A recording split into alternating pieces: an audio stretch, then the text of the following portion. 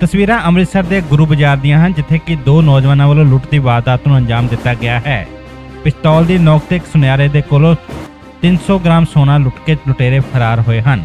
ਇਹ ਸਾਰੀ ਵਾਰਦਾਤ ਸੀਸੀਟੀਵੀ ਕੈਮਰੇ ਵਿੱਚ ਵੀ ਕੈਦ ਹੋਈ ਹੈ। 300 ਗ੍ਰਾਮ ਸੋਨੇ ਦੀ ਕੀਮਤ ਕਰੀਬ 15 ਲੱਖ ਰੁਪਏ ਦੱਸੀ ਜਾ ਰਹੀ ਹੈ।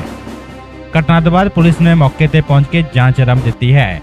ਇਸ ਸਾਰੇ ਮਾਮਲੇ ਸੰਬੰਧੀ ਪੀੜਤ ਵਿਅਕਤੀ ਤਜਿੰਦਰਪਾਲ ਸਿੰਘ ਵੱਲੋਂ ਜਾਣਕਾਰੀ ਦਿੱਤੀ ਗਈ।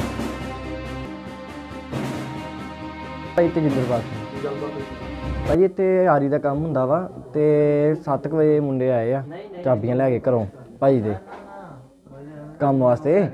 ਤੇ 7 ਵਜੇ ਆ ਕੇ ਸਵਾ ਸੱਤ ਵਜੇ ਦੁਕਾਨ ਖੋਲੀ ਉਹਨਾਂ ਨੇ ਤੇ ਦੋ ਮੁੰਡੇ ਆਏ ਆ, ਦੋ ਚਾਰ ਵਜੇ ਨੰਗੇ ਗਲੀ ਚੋਂ।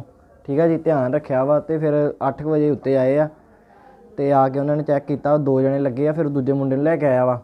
ਠੀਕ ਆ ਜੀ, ਫਿਰ ਉਹ ਆ ਕੇ ਤੇ ਉਹਨਾਂ ਦੀ ਸਿੱਧੀ ਪੱਤਰੀ ਖੋਈ ਉਹਨੇ, ਕੰਮ ਕਰਨ ਦੇ ਸੀ ਮੁੰਡੇ ਆਪਣੇ ਧਿਆਨ ਠੀਕ ਆ ਜੀ? ਤੇ ਉਹ ਪੱਤਰੀ ਖੋਈ ਤੇ ਉਹ ਦੂਜੇ ਮੁੰਡੇ ਨੇ ਮਨਾ ਕੀਤਾ ਤੇ ਉਹਨੇ ਹੱਥ 'ਚ ਲਾਕੀ ਕਰਨ ਦੀ ਵੀ ਕੋਸ਼ਿਸ਼ ਕੀਤੀ ਤੇ ਫਿਰ ਭਾਜੀ ਉਹਨੇ ਪਿਸਟਲ ਕੱਢ ਲਿਆ ਤੇ ਉਹ ਫਿਰ ਹਾਰ ਕੇ ਉਹਨਾਂ ਨੂੰ ਪੱਤਰੀ ਫੜਾਉਣੀ ਪਈ ਤੇ ਭਾਜੀ ਫਿਰ ਉਹ ਲੈ ਕੇ ਚਲ ਗਏ। ਕਿੰਨਾ ਕੁ ਨੁਕਸਾਨ ਹੋਇਆ? ਭਾਜੀ ਇਹ ਘੱਟੋ ਘੱਟ 18 ਤੋਂ 20 ਲੱਖ ਦੇ ਵਿੱਚ ਵਿੱਚ।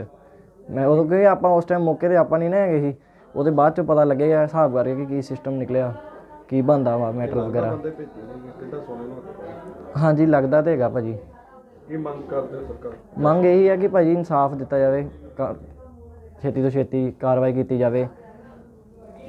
ਪ੍ਰਸ਼ਾਸਨ ਭਾਜੀ ਹੁਣ ਮੈਂ ਕੀ ਕਹਿ ਸਕਦਾ ਕਿਉਂਕਿ ਆਪਾਂ ਕਾਰੀਗਰ ਬੰਦੇ ਆ ਹਾਂ ਵੀ। ਇੱਕ ਸ਼ਾਪ ਹੈਗੀ ਹੈ ਇੱਥੇ ਸਾਨੂੰ ਸਵੇਰੇ ਅਰਾਊਂਡ 8 ਵਜੇ ਖਬਰ ਆਈ ਸੀਗੀ ਕਿ ਦੋ ਲੜਕੇ ਆਏ ਹੈਗੇ ਮੋਟਰਸਾਈਕਲ ਤੇ ਇੱਕ ਲੜਕਾ ਉੱਤੇ ਗਿਆ ਤੇ ਉਹਨੇ ਜਿਹੜਾ ਇੱਥੋਂ ਉੱਤੇ ਗਏ ਆ ਤੇ ਦੋ ਵਰਕਰ ਇਹਨਾਂ ਦੇ ਕੰਮ ਕਰਦੇ ਵੇ ਸੀਗੇ।